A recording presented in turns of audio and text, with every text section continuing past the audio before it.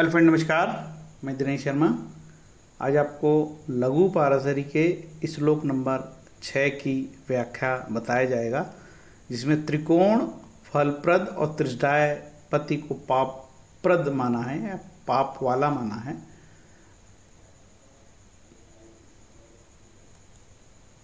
लघु पारसरी ज्योतिष सीखने वालों के लिए बड़ी वरदान है ये छोटी सी बुकलेट जिसमें बयालीस श्लोक हैं। अब आपको लगेगा कि यार मैंने तो छः ही नंबर श्लोक से क्यों चालू कर दिया? देखिए, एक से छः श्लोक तक में तो पहले श्लोक में तो माँ सरस्वती की वंदना के बारे में ज़िक्र किया लेखक ने, ठीक है? लघु पारेसरी के जो लेखक थे, पंडित मुकुल वल्लभ जी, उन्होंने बयालीस श्लोक में ये लघु पारेसरी लिखा और ज्योतिष सीखने वालों के लिए बहुत ही वरदान है किताब। बिना लघु पारेसरी के ग्रहों का शुभ और अशुभ आप नहीं समझ पाओगे, ग्रहों की ताकत नहीं समझ पाओगे, ठीक है? वीडियो सिर्फ़ एस्ट्रोलॉजी से से जो सीखने वाले उन लोगों के लिए, जो आम जन जो है, उनको शायद समझ में नहीं आ पाएगा। तो इस चीज़ का आपको ध्यान रखना। वीडियो लंबा हो सकता है, टाइम की कोई लिमिट नहीं है, ठीक है? सिर्फ़ ज्योतिष से प्यार करने वाले, ज्योतिष सीखने वाले, उन लोगों के लिए वीडियो भाई ठीक? तो दूसरे श्लोक में बोला है कि जो होरा शास्त्र है, ये है ऋषि पारासर का होरा शास्त्र। महर्षि पारासर के होरा शास्त्र का यथामति अनुसरण करके हम देवज्ञों की प्रसन्नता के लिए नक्षत्रों के फल को प्रकट करने वाले उड्डुदाय प्रदीप नामक प्रसिद्ध लघु पारासरिक ग्रंथ को करते हैं। ठीक है? इसमें बोला कि भाई ये जो ऋषि पारासर के सिद्धांत को इन्होंने पूरा बताया है। ये दूसरा श्लोक हो गया और तीसरा जो श्लोक हो गया है, तीसरे श्लोक में जो लेखक ने बताया है तीसरे श्लोक में लेखक कहता है कि ये हम इस नक्षत्र दशा के अनुसार ही शुभ और अशुभ फल कहते हैं। ये नक्षत्र दशा है। चंद्रमा जिस नक्षत्र में होता है, वो नक्षत्र दशा, ठीक है? इस ग्रंथानुसार फल कहने में विंशोत्तरी दशा को ग्रहण करेंगे, अष्टोत्तरी दशा को नहीं लेंगे। तो ये जो लेखक है लघु पारेसरी के, मुकुंद देव जी है, वो कहते हैं भैया देखो, हम मैं केवल लघु पारेसरी जो पढ़ा रहा हूँ, ये ना इसमें विंशोत्तरी दशा चलेगी, ठीक है? जो 120 वर्ष की होती है। तो विंशोत्तरी दशा की बात हुई है। श्लोक चार। श्लोक चार में ये कहते हैं कि लग्न से बारह भाव तक, त्रिकोण क्या है, शुभ क्या है, अशुभ क्या है, ग्रह क्या है, अस्त क्या है, इन सब का डिटेल आप ना दूसरे ग्रह, दूसरे जो जातकों ने लिखे हैं, ग्रह, दूसरे जो विद्वान ज्योतिषियों ने लिखे हैं, जैसे गर्ग आचार्य आदियों ने, उनसे सीख लो आप, या जातक पर जात पढ़ लो वरा मेरी की किताब है, वो पढ़ लो, वो मैं बताऊँगा, बोले वो ग्रह अच्छा होगा, बुरा होगा, कैसा क्या होगा अस्त होगा या जो है नीच का होगा, कौन सी मित्र राशि, शत्रु राशि, इस विषय में मैं नहीं बताऊँगा। ठीक है? तो ये चौथे अध्याय में लिख दिया, चौथे श्लोक में लिख दिया और इसके बाद पाँचवें श्लोक में कह दिया कि ग्रहों की ऐसी दृष्टि होती है। बता दिया भाई, गुरु की दृष्टि पांचवी और नौवीं होती है और सातवीं होती है। और ये बताया कि सभी ग्रहों की पाँचवें श्लोक को लिखा, पश्यंती सप्तम सर्वे शनि, जीव पूजा पुनः विशेषत त्रिदश त्रिकोण चतुष्टमान। सभी ग्रहों की सातवीं दृष्टि होती है और मंगल की तीन दृष्टि होती है। पहली सातवीं, चौथी, आठवीं। गुरु की तीन दृष्टि होती है। सातवीं, पांचवी, नौवीं। शनि की तीन दृष्टि होती है। तीसरी, सातवीं और दसवीं। ये विशेषता बताया, ठीक है? इसके बाद सीधे छठे नंबर के श्लोक में आ गए और ये छठा नंबर का श्लोक है। सर्वे त्रिकोण नेतारो ग्रह शुभ फल प्रदा। पतस्त्री नाम यदि पाप फल प्रदा। कहता है, कोई भी ग्रह यदि त्रिकोण, एक पाँच नौ का स्वामी हो तो शुभ फलदायक होता है। तथा यदि त्रिकोण, यदि त्रिष्डाय तीन छह का स्वामी हो तो पाप फलदायक होता है।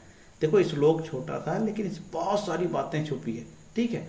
अब इसका हम देखेंगे तो छह पन्ने की डिटेल लिखा है मेजर खोद ने ठीक है तो मैंने सब पढ़ा है और मेरे पास चार पाँच प्रकार की लघु पारसरी है और भी मैं बुलवाया हूँ। मेरे को बड़ी मज़ा है, पढ़, आता है।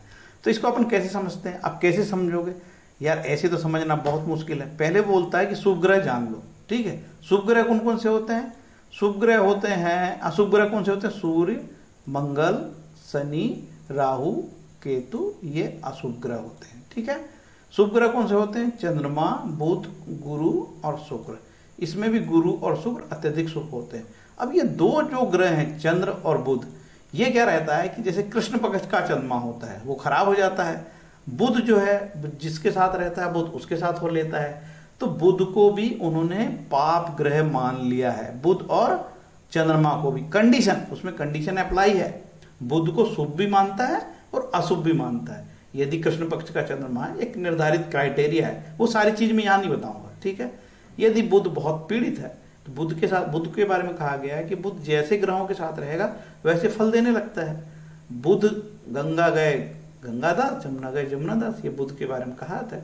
तो शुभ ग्रह कौन कौन से? चंद्रमा, बुद्ध, गुरु, शुक्र और चंद्र बुद्ध शुभ और अशुभ दोनों हो सकते हैं। सूर्य, मंगल, शनि, राहु, केतु, ये पाप ग्रह इसमें सूर्य जो होता है ना, ये क्रूर ग्रह होता है, पापी नहीं होता, ठीक है? सूर्य को क्रूर ग्रह बोलते हैं, लेकिन जनरली बोलचाल में सब लोग उसको पापी पापी बोलने ही लगते हैं, ठीक है? तो ये बात का ध्यान रहे आपको। अब हम यहाँ से ग्रहों को समझते हैं, ठीक है? बोलता है कि सर्वे त्रिकोण नाते ग्रह सुफल प्रदा।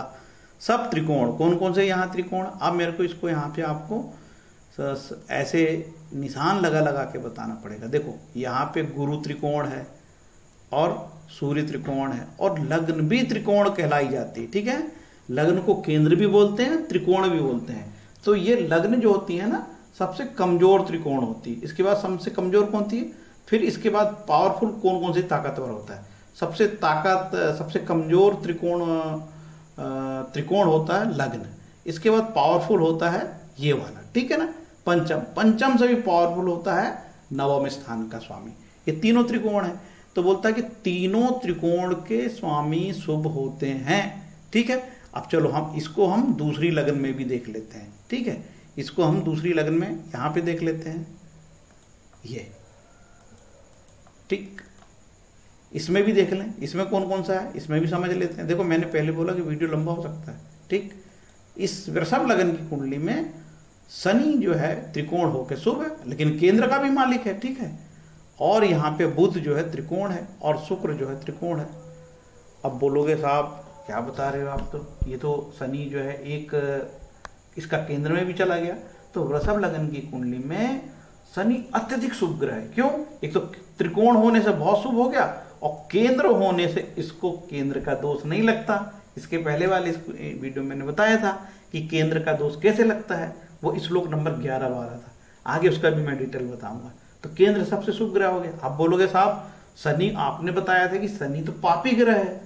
अरे मेरे भाई लघु पारसरी क्या बोलती है? कोई ग्रह यदि त्रिकोण हो जाए तो शुभ है। भले ही वो पा, पापी हो। शनि भी त्रिकोण होकर शुभ हो गया।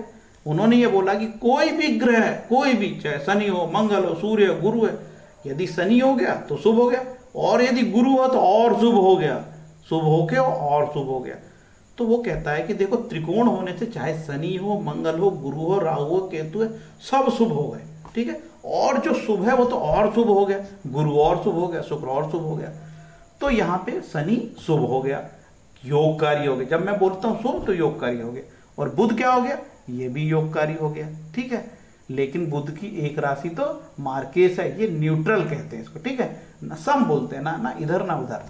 तो ये समझ में आया त्रिकोण का? अब मैं, अब दूसरा श्लोक में कहता है कहता है कि अब मैंने त्रिकोण का समझा दी अब मैं त्रिकोण का एक और उदाहरण समझा दू आपको त्रिकोण से। सर्वे त्रिकोणा, फिर शनि आ गया साहब यहाँ पे, फिर आ गया शनि। ये शनि यहाँ पे आ गया, शुभ हो गया। और शुक्र यहाँ पे आ गया, शुभ हो गया। और बुध यहाँ आ गया, शुभ हो गया। ठीक? भाई, नियम तो है शुभ का, लेकिन बुध का एक त्रिकोण यहाँ पे भी है, बुध को भी केंद्र का दोष लगता है। ठीक है? अब यहाँ पे शुक्र है तो लेकिन शुक्र की एक राशि न्यूट्रल हो गई यहाँ पे। तो ये कैसा ग्रह हो गया शुक्र? देखो, शुक्र का ये तो ये एक तो न्यूट्रल हो गया। मिथुन लगन की कुंडली में शुक्र योगकारी कहलाएगा। और शनि क्या कहलाएगा? अब शनि की एक राशि यहाँ पे अष्टम में पड़ गई, ठीक है? ये हो गया लपड़े वाला काम। शास्त्र कहता है, खासकर वृहत जातक में ये बात आई है। वरामीर साहब कहते हैं कि वरामीर के मतानुसार जब एक ग्रह दो कारणों से विरुद्ध धर्म होता है, विरुद्ध धर्म कैसा एक अष्टमेश होकर अशुभ हो गया और ये नौमेश हो गया शुभ हो गया। यानी एक कारण से शुभ फल देने वाला हो और दूसरे कारण से अशुभ फल देने वाला हो तो ऐसी परिस्थिति में वह ग्रह दोनों स्थानों के फलों का नाश कर देता है। ठीक है? लेकिन कुछ जो है, टीकाकार कहते नहीं नहीं नहीं नौमेश होने से थोड़ा सुबह तो बचा रहेगा, ऐसा बोलने लगते हैं। ठीक है? और अष्ट, लेकिन सत्य यह है कि अष्टमेश होने से शनि बहुत, अब ये शनि योगकारी नहीं हुआ। अब इसको योगकारी होने के लिए सपोर्ट लगेगा किसी केंद्र का, ठीक है? या किसी और दूसरे त्रिकोण का सपोर्ट लगता है। जब कहीं जब कहीं जाके वो सहयोग किसी के सहयोग से, शुभ ग्रह के सहयोग से, योगकारी ग्रह, शुभ नहीं, योगकारी ग्रह के सहयोग से वो योगकारी होता है। लेकिन मिथुन लगन की कुंडली में शनि योगकारी नहीं है। नवमेश होने से भी नहीं क्योंकि उसका एक भाव यहाँ पे अष्टम स्थान पे आके जो है चिपक गया है। ठीक है? तो ये समझना ये शनि यहाँ का भी मालिक हो गया यहाँ का भी हो गया। तो क्या बोलेंगे? शनि इसमें दोष है। द, मतलब उसमें कुछ दोष रह गया है अष्टमेश का दोष रह गया। ठीक? अब आगे बढ़ते हैं। श्लोक लेते हैं इसमें ठीक है? कि कहता है कि त्रिष्डाय त्रिष्डाय कौन कौन से होते हैं? देखो त्रिष्डाय होता है ये हो गया त्रिष्डाय ठीक है, कर्क लगन में सुधार समझा रहा हूँ? हर लगन ले रहा हूँ मैं समझने के लिए। ये हो गया यहाँ पे सॉरी ये नहीं है। इसको हटा दो। ये हो गया त्रिष्डाय ठीक है? और ये हो गया त्रिष्डाय ठीक है? ग्यारहवा स्थान को क्या बोलता है? त्रिष्डाय के पति मतलब तीसरे इन स्थानों के तीन छ और ग्यारहवें स्थान के स्वामी अशुभ होते हैं। अब इनका स्वामी क्या हो गया? शुक्र हो गया। तो ये शुक्र क्या हो गया? अशुभ हो गया। मान के चलो ये शुक्र को और ये शुक्र को यहाँ पे केंद्र का दोष भी लग गया। ठीक है? तो केंद्र का दोष होने से लगे कर्क लगन की कुंडली में शुक्र शुभ ग्रह होने के बाद भी दोष ही हो गया। ठीक है? तो यहाँ पे क्या होगा? तो ये शुक्र जहाँ, जैसे शुक्र मान के चलो कि इसको ऐसे समझाता हूँ। शुक्र जैसे यहाँ पे बैठ जाए। ठीक है? तो ये यहाँ पे उच्च का हो गया। लेकिन पाप पाप फलद है, ये उपचय है। और इसके साथ कोई मंगल हो यहाँ पे, ये मंगल हो, ठीक है। और इसके साथ चंद्रमा भी हो, ये चंद्रमा हो, ठीक। अब बोले यार कि बहुत जोरदार कुंडली में योग बन रहा है, लेकिन ये जो है, उपचय आके इसको भंग कर दिया है, ये माना जाएगा, ठीक है। और कहीं चलो शुक्र नहीं आया, शुक्र को ले लेते हैं, हम बुध को ले लेते हैं यहाँ। तो ये गुरु ये बुध को लेके, ये बुध आके यहाँ पे भले ही नीच का हो गया, लेकिन उपचय होने से पूरे योगों को, चंद्रमा और मंगल के योगों को भंग कर दिया।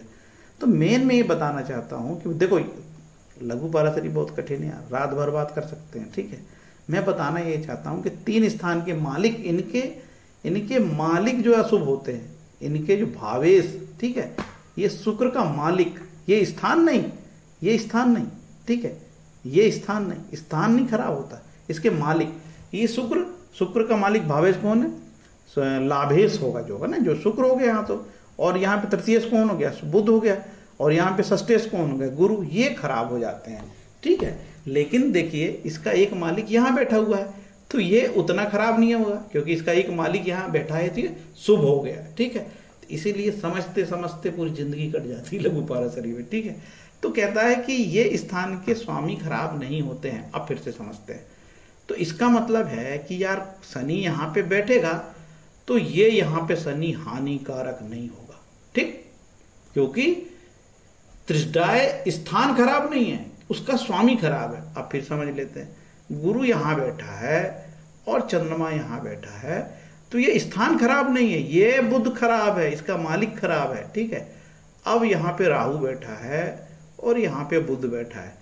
तो यहाँ पे राहु बैठा हो या बुद्ध बैठा हो या शुक्र ही आ जाए तो ये बैठना खराब नहीं है, इतना खराब नहीं हुआ ग्रह।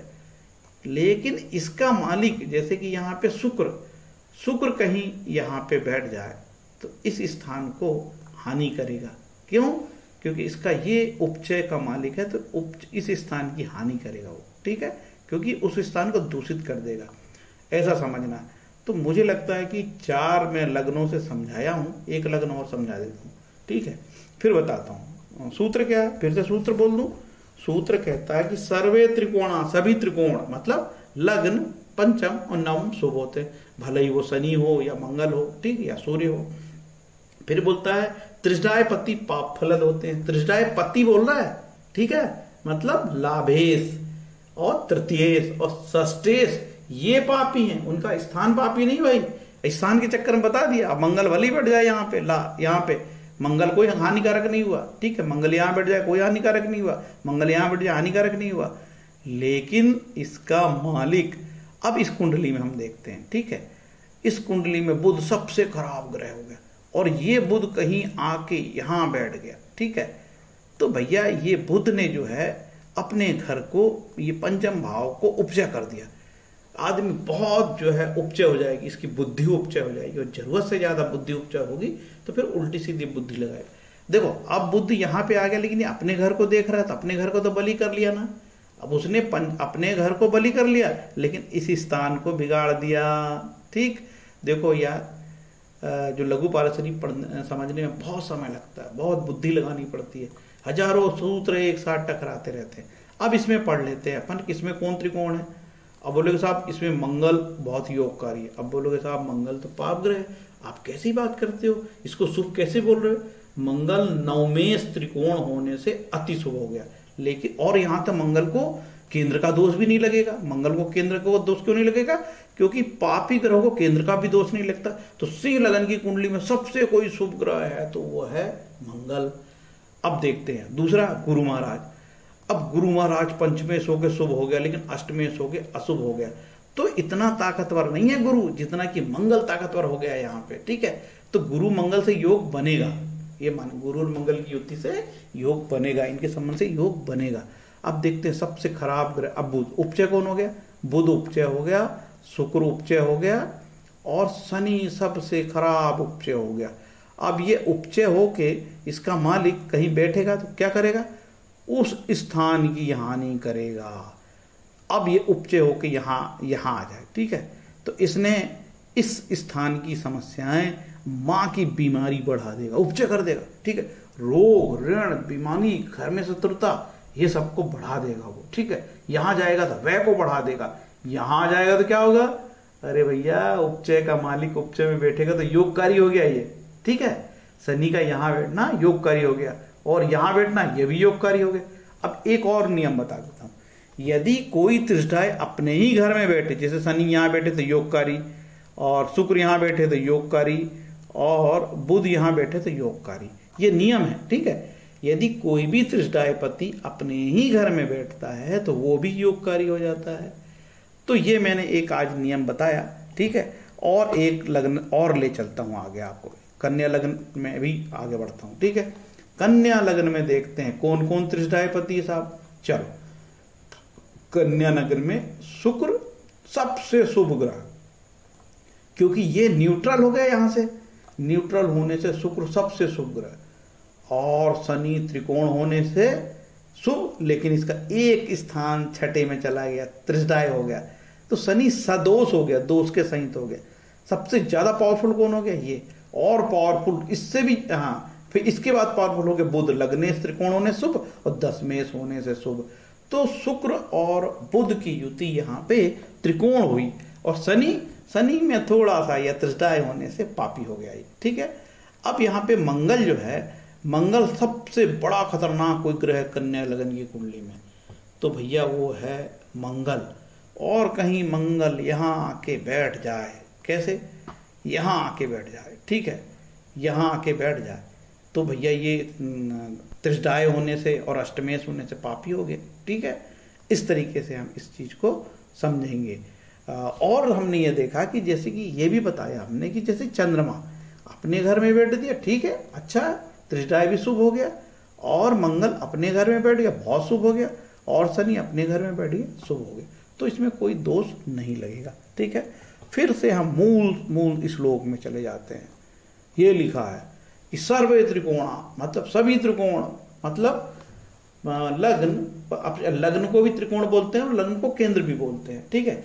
अब सर्वे त्रिकोण, लग्न, पंचम, नवम के भाव के स्वामी, भले ही वो नैसर्गिक शुभ हो या अशुभ हो, त्रिकोण होने से शुभ हो गए, और उसी प्रकार सर्वे त्रिष्डा सॉरी त्रिष्डाय पति जो है त्रिष्डाय पति, चाहे वो गुरु हो, चाहे वो शनि हो, या पाप पाप वाले हो पापी ग्रह हो, या शुभ ग्रह हो, वो त्रिष्डाय पति होने से अशुभ हो जाते हैं। अब वो क्या होता है कि यदि शनि पाप ग्रह यदि त्रिष्टाय होता तो और पापी हो जाता है, और शुभ ग्रह थोड़ा सा कम पापी होता है। उसी तरीके से पाप ग्रह त्रिकोण होने से ये शुभ त्रिकोण होने से बहुत शुभ हो जाता है, क्योंकि ऑलरेडी से शुभ है। और यदि पापग्रह त्रिकोण होने से शुभ ग्रह की तुलना में थोड़ा सा कमत्तर मानते हैं उसको। तो ये 20 मिनट का तो अभी तक मेरा हो गया है, लेकिन मन मेरा मान नहीं रहा है। मुझे लगता है कि एक आध और बार अच्छे से आपको समझाना चाहिए। चलो, मीन लगन में बताते हैं। मीन लगन की कुंडली लेते हैं। अब बोलो, इसमें त्रिकोण का स्वामी हो गया शनि। ठीक है, शनि सबसे पापी हो गया। और ये बारवा तो न्यूट्रल होता है। तो ये न्यूट्रल क्या होता मतलब सम। जहाँ बैठेगा, उसके अनुसार फल देगा ये शनि। अब सबसे खराब ग्रह यहाँ पे शनि हो गया। और शनि यदि यहाँ आ जाए तो? अब ये शनि यहाँ आ जाए तो? शनि यहाँ बैठ जाए तो क्यों? त्रिकोण का स्वामी, मैंने पहले ही बोला कि ये तो न्यूट्रल होता है तो त्रिकोण का स्वामी त्रिकोण में चला गया तो ये अच्छा हो गया। और यहाँ आ गया तो योगकारी हो गया ये। ये बहुत अच्छे फल देगा, ठीक है? अब इसमें और देखते हैं त्रिकोण में। इसमें त्रिकोण कौन से हो गए? और पहले देख लेते हैं कि पाप त्रिष्टा ये हो गया। तो शनि यहाँ पे, यदि और शनि यहीं बैठ जाए तो अपने घर में ही बैठ जाए तो कोई दिक्कत नहीं साहब। चलो शनि को बैठा देते हैं। शनि अपने घर में बैठ गया। ये शनि शुभ हो गया अब, क्योंकि अपने घर में बैठा है, ठीक है? उसको त्रिष्टाय अब त्रिष्टाय नहीं माना जाएगा वो। और यहाँ बैठेगा तो भी त्रिष्टाय नहीं है। यहाँ बैठेगा तो भी त्रिष्टाय नहीं है, ठीक है? यहाँ बैठ गया तो भैया त्रिष्टाय हो गया। यहाँ त्रिष्टाय हो गया। हानिकारक इस स्थान की। ऐसा समझना। तो तीन ग्रह यहाँ पे त्रिष्टाय हो गए और इनके मालिक हानिकारक हो गए। कौन? शुक्र, शनि और सूर्य। ठीक? त्रिकोण कौन हो गया? मंगल त्रिकोण हो गया। क्योंकि मंगल यहाँ पे न्यूट्रल हो जाता है तो ये यहाँ पे बहुत ताकतवर हो गया मंगल। और गुरु बहुत ताकतवर हो गया, क्योंकि लग्नेश त्रिकोण और ये सबसे प्रबल केंद्र कहलाया। प्रबल केंद्र होने के कारण गुरु बहुत पावरफुल हो गया यहाँ पे। ठीक है? अब केंद्र, बुद्ध को केंद्र का दोष लग जाएगा यहाँ, ठीक है? और बुद्ध यहीं बैठ जाए तो एक सूत्र है, बुद्ध कहीं भैया यहीं बैठ जाए, ये लो तो मारक होके मारक के स्थान बैठ जाए भयंकर हानिकारक, ठीक? अब चंद्रमा, चंद्र, चंद्रमा यहाँ पे शुभ त्रिकोण माना जाएगा, चंद्रमा शुभ त्रिकोण होगा, मंगल सबसे शुभ होगा, और गुरु होगा, ये त्रिकोण कहलाए, ठीक? तो भैया ये जो है श्लोक 22 मिनट का मैंने समझाया है बड़ी मेहनत लगती है। बहुत सारे प्रश्न रह गए होंगे। कई लोगों को समझ में आया होगा और कई लोगों को समझ में नहीं आएगा। देखो, आपको बाज़ार में पैसे लेके लघु पारसरी सिखा रहे हैं। इतना पैसा लाओ वेबिनार करेंगे, पैसा जमा करो, मैं आपको फ्री में सिखा रहा हूँ। ठीक है? कोई यदि प्रश्न हो तो आप लिखो कि सर हमको बिल्कुल पल नहीं पढ़ाया मैं और आपको अलग अलग लग्न में सिखा, सिखाने का प्रयास करूँगा। चलो कुंभ लगन में एक बार देख लेते हैं। ठीक? कुंभ लगन में कौन कौन शुभ ग्रह ये त्रिकोण होने से शुभ, ये त्रिकोण होने से शुभ, ये लग्न लग्न केंद्र त्रिकोण होने से शनि शुभ हो गया। ये तो न्यूट्रल हो गया यहाँ पे, ठीक है? तो लग्नेश होके शनि शुभ हो गया। अब शुक्र को यहाँ पे केंद्र का दोष भी लगेगा तो भले ही शुक्र नवमेश है, लेकिन थोड़ा सा केंद्र दोष यहाँ पे लगेगा। लेकिन शुक्र यहाँ पे शुभ हो गया। अब देखते हैं कि यहाँ पे जो सूर्य, बुध है ये तो शुभ हो गया, लेकिन इसकी एक राशि यहाँ होने से तो बुध क्या हो गया? थोड़ा सा दोषी हो गया। कैसे फल देगा? मिश्रित फल देगा। आधे इसके देगा, आधे उसके देगा। आपने देखा कि जीवन में हमेशा उतार चढ़ाव रहता है। कभी अच्छा कभी बुरा। अब देखते हैं त्रिकोण, इसमें कौन है वो? त्रिष्ठा है। गुरु इसमें सबसे खराब ग्रह हो क्योंकि ये न्यूट्रल होने से गुरु जहाँ बैठेगा कुंभ लगन की कुंडली में बाजा बजाएगा। और ये मंगल यहाँ पे त्रिष्टाय हो गया। क्योंकि केंद्र का दोष इसको नहीं लगता है तो ये उतना उतना पापी नहीं है। मंगल यहाँ पे उतना पापी नहीं है जितना कि गुरु है। गुरु सबसे बड़ा त्रिष्टायपति हो गया। उपचय में तीन प्रकार का है। सबसे पहले तीसरा उपचय, फिर छठा उपचय, फिर ग्यारहवा उपचय, सबसे बली उपचय होता है। मतलब सबसे ज़्यादा कष्ट देने वाला होता है। ठीक है? और तीन उपचय बता दी मैंने अब मकर लगन की कुंडली में एक और देख लेते हैं, ठीक है? मकर लगन की कुंडली में हम देखते हैं, कौन हो गया उपचय? मंगल उपचय हो गया, और मंगल का एक स्वामी, इसको केंद्र का दोष नहीं लगता, ठीक है? तो भैया, ये मंगल बहुत तेज उपचय हो गया, पापी हो गया, और गुरु गुरु बार बार न्यूट्रल होने से ये ये भी भयंकर तेज हो गया, ठीक है? लेकिन तेज कौन है? तेज यहाँ पे यही होगा, क्योंकि केंद्र का दोष नहीं लगेगा इसको तो यही यही होगा भैया, यही, ठीक है? इसके बाद उपचय और हो गया बुध। बुध यार उतना तेज उपचय नहीं है, उतना पापी नहीं, क्योंकि इसका एक राशि यहाँ शुभ में आ गई भैया, ठीक है? तो फाइनली इस कुंडली में सबसे खतरनाक कौन सा ग्रह होगा? मेरे हिसाब से तो गुरु होगा, क्योंकि इसको आधा सुबह तो मिल गया केंद्र का दोष नहीं लगने से, ठीक है? तो फिर गुरु ज़्यादा इसमें खतरनाक हो गया, ठीक है? त्रिकोण में त्रिकोण में ये शुक्र शुभ है, और यहाँ पे भी ये शुभ है। तो भैया इसको सबसे ज़्यादा शुभ हो गया शुक्र, और इसमें जो बुध है थोड़ा सा दोषी हो गया यहाँ पे त्रिजडाय होने से, ठीक? और शनि धनेश न्यूट्रल होने से, शनि लग्नेश होके योगकारी हो गया, ऐसे समझना। और ये जो है, मारक हो गया यहाँ पे, और केंद्र के होने से चंद्रमा न्यूट्रल हो गया, ना शुभ ना शुभ और ये कैसा? अष्टमेश आप कहते हैं कि भाई चंद्रमा और सूर्य को अष्टमेश का दोष नहीं लगता, लेकिन बहुत ज़्यादा पीड़ित होते हैं तो इनको भी अष्टमेश का दोष लगता है। तो भैया ये लघु पर असरी का श्लोक नंबर छह मैंने अपनी यथा बुद्धि, ठीक है, मैं यथा बुद्धि से बोल रहा हूँ, क्योंकि भैया मैं भी आपके जैसे ही लंगड़ा आदमी हूँ, ठीक है धीरे से समझता हूँ, बताता हूँ, लंगड़े आदमी कैसे होते हैं?